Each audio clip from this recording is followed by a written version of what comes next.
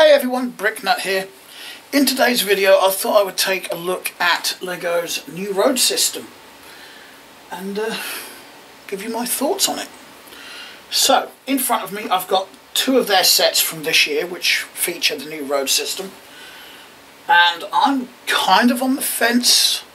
I do like it but there's also a number of things I don't like about it. Um,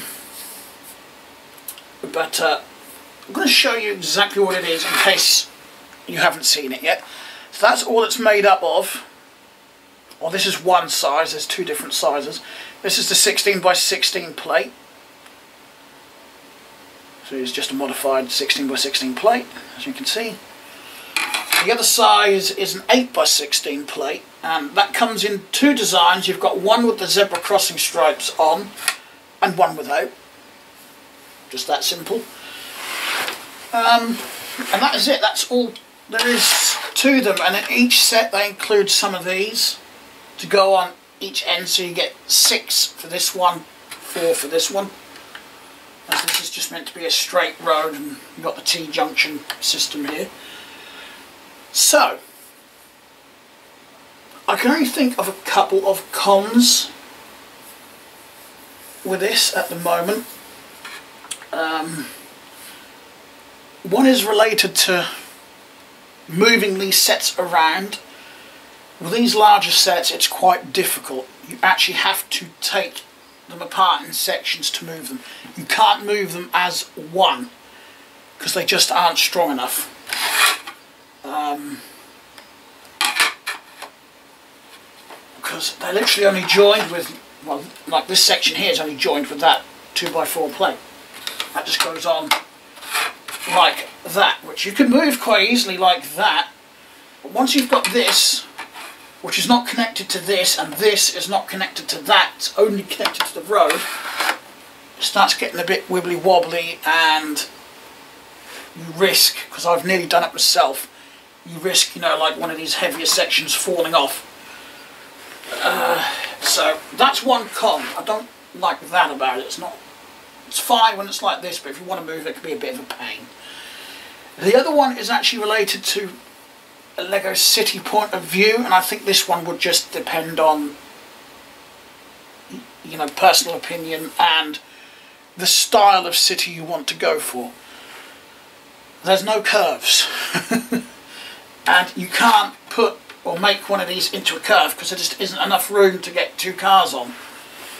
So, if you're like basing your city on, you know, a typical American city which is done in straight lines and blocks, perfect road system. That would be brilliant for that. But if you want to base it on something like a European town or city, which is most likely what mine will be, no curves. So it can be a bit of a drawback there on using this system. So for me, when I rebuild my um, city, I'm going to stick to the, the uh, traditional road plates. that, and I just really, really like those anyway. Those are, I think, at the moment, unless I think of any more through the video, they're the only two cons I can think of. Um, well, I suppose one is sort of a pro and a con, depending which way you look at it, or what sort of city you want to build. Anyway. I think most of the pros are pretty much from the perspective of it being a playset. So, um, I think LEGO have done a great job on designing these, and I think um, I'd be surprised if these don't sell well as the play sets that they are intended to be. You know, I can see kids really liking these for many reasons. It's so easy to add your own buildings to these because these 8 by uh, 16 plates and 16 by 16 plates quite popular. I should think everyone's got them in their little Lego collection. So you can build your own buildings on them and easily attach them to this. Um, plus, again, from a playset perspective, it's so easy to connect this to that. And then you can change everything around. So easy just to swap and change and, you know. And to me, that adds a lot of playability value to these. So, again, as a playset perspective, I think LEGO have um, personally outdone themselves with this. If I, you know, pretend I'm a child for the moment, and I walk into the, a toy shop and I see sets like this, I'd think, oh, cool. You can build your own city with them, you know, clip, clip them all together and swap everything around and to me as a child that would just be so cool. so, yeah. Playability, playset value quite high in my opinion on these. Um, oh, I forgot to mention that the tiles that are included with the white stripe, they're actually printed tiles, they're not stickers. And again, you know, there's so much you can do with just these just these alone. You could put speed bumps in, which I've used some roof tiles here for speed bumps. I don't quite like those there, so I'm going to remove those when I've done the review on the set. You can get these little sort of on-ramps, I suppose. Which again, from a play set perspective is great because it just allows for a nice smooth transition from like the floor, so to speak, pretend that's the floor, onto the road.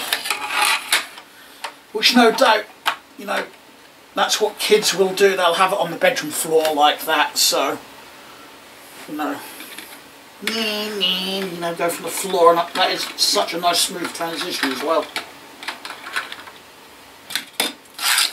And Lego being Lego have completely thought this out. It's obviously got these four bits in the middle to put tiles in. I'll just put a couple in like that.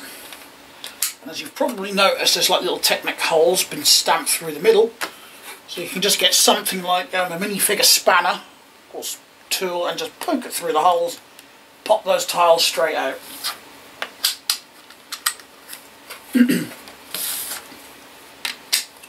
so, I still haven't actually thought of anything else I would consider a con to be honest. Um, from an AFOL perspective, I do like some of the buildings, particularly in the, well, I like this set because of that building, it's quite a nice design. These are quite minimalistic. Um, I do like the style. This is just basically the frontage of a couple of shops, that's all they've put on here. Um, yeah, I could get the parts and just build this out, but actually this one would be quite easy. And I'll probably end up doing that. Um, I think I've got enough of these light tan pieces. May do the same for the um, cycle shop there. I don't want to go into too much details because I want to do the reviews on these. Um, electric cars. Getting very common for Lego to build little electric cars. they try to promote themselves as being eco-friendly. I know they want to change the formula of their plastic and the bricks to be more eco-friendly. Which to me is not a bad thing. As long as they don't, you know, stray away from the quality of their bricks. Anyway,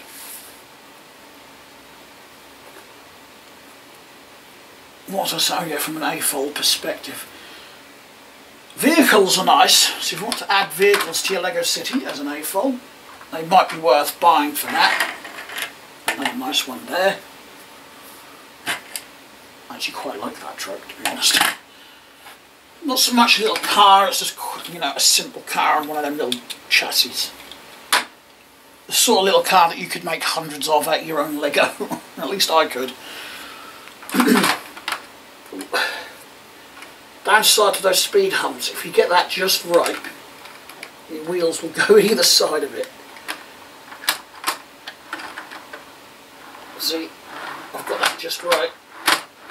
Sometimes the bonnet will catch, but not the bonnet, the bumper. Uh, I think that's another con, you know, these are heavily based towards, well, I was going to say it's a con, it's not really, because that's what Lego's about, isn't it? You know, aiming it at kids.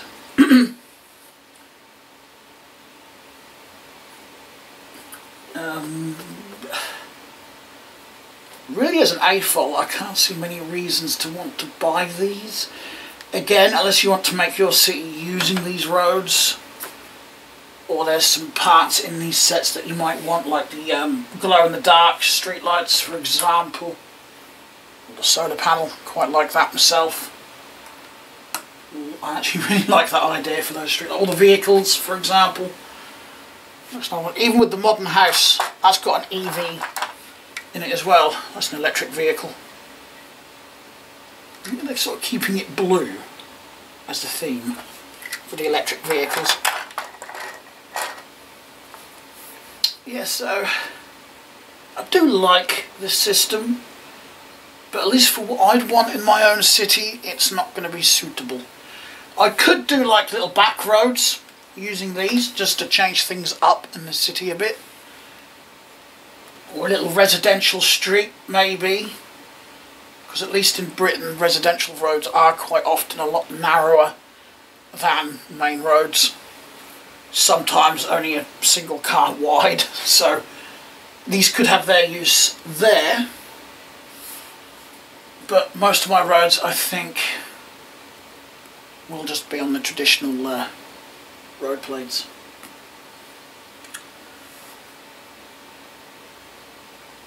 So, is there anything else I could think of to add about these? No, I don't think so, really. I suppose I did a bit of a review on them, didn't I? Because I talked about these as a playset rather than the roads, but never mind. I'm going to stick with things as I've gone, because quite frankly, I've done too many takes on this video now. I swear, I thought this was going to be quite easy doing YouTube videos. No. No, it takes a lot of work and a lot of time, unfortunately. But, I do enjoy it. So, I hope you enjoyed this video as well. And as always, let me know your thoughts in the comment section down below. And I will, as always, link the Discord channel, Discord server, rather, and the um, Facebook page in the description down below. Um, I am posting more to the Discord server. Uh, I hadn't been, had been neglected for a bit as well as the Facebook page. I am posting as much as I can to those. So, uh, yeah. Um, I suppose I should say thanks a lot for watching. My brain farted for a moment there. thanks a lot for watching everyone and I will talk to you again very soon. Bye.